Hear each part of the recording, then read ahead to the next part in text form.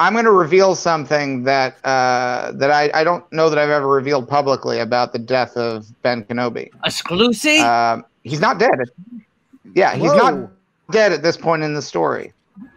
Darth Vader was correct to do a little stamp around, but you'll notice he wasn't very thorough. He did two little stompies on two little parts. Yeah.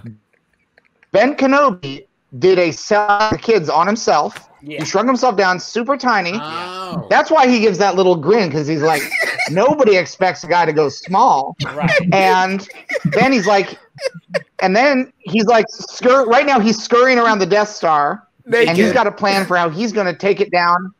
But then they blow up the Death Star, and that that kills Ben Kenobi. Yeah. Let's No way. yeah.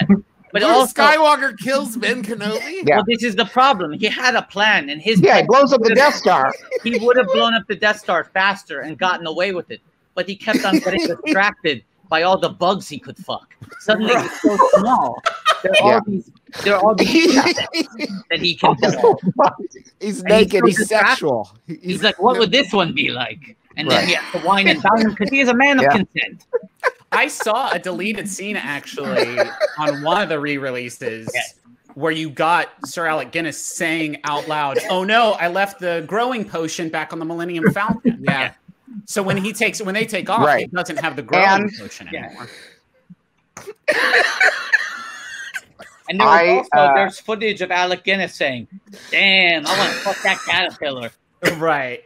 And, th- and then I, if I He's like, remember, George, George, you're in that Yeah. scene. Uh, you're in that clip, and you say, "Oh, okay, I'll write that in." Yes. If I remember, because that was just Alec Guinness saying, "Like, I want to fuck that caterpillar," and you're like, "Oh, okay, that's a good Okay, character trait." I have a I have a question. If if when the Death Star blew up, if there had been a little half second cut to a tiny naked Ben Kenobi, like, oh fuck, would there have been a next Yeah. Star Wars, or would this be the only one to exist? Would Yeah. they have gone on from that? Point? No. No, of course.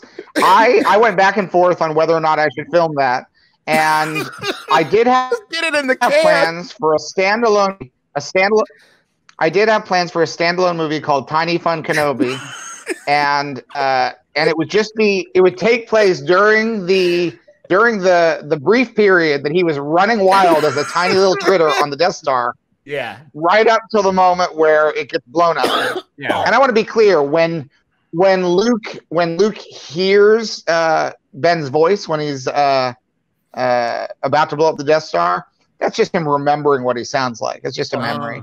And and let's say also that film would be very different than the Star Wars sequels as we know them. Tonally, it would be a little more like a Bug's Life meets Porky's. It would yeah. be sort of just a wild ribald comedy. Now, I, I actually, I read uh in, I, I, it's one of the Star Wars magazines, um, but Mhm. that you originally you had Rick Moranis for that Tiny Fun Kenobi, but then when the the picture fell through, he went on to do Spaceballs because he had already done all the prep Oh, work. that must Yeah. have stung, huh?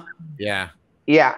And no, it was hard. It was hard, worse. but I, I released I we were we were a decade behind where we needed to be in terms of the VFX. And I I said to Rick, I said, Rick, I'm not going to make you wait another 10 years to do this when you have the opportunity to goof on uh, some Star Wars right now. George has always So I released him. I said, you go go with my blessing.